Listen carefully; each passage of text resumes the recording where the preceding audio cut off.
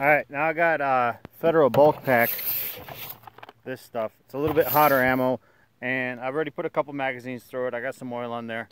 Um, I've put a few magazines through it of the stand velocity stuff as well, but it's more finicky because it doesn't have the energy.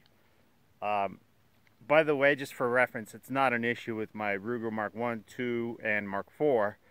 Uh, those will shoot anything. So some semi-autos are picky, others are not.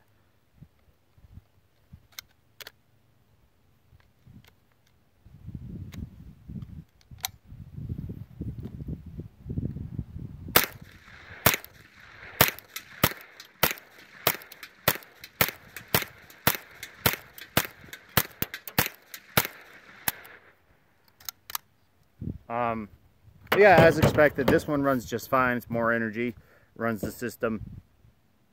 You can't get these anyway, but it's kind of a rare kit. It's kind of fun, but uh, not something I would ever trust, that's for sure. I'd, I'd trust the commercial Ruger 1022s or even the Remington 597s before I trust this, but it's good for training and it's cheaper than 9 mil.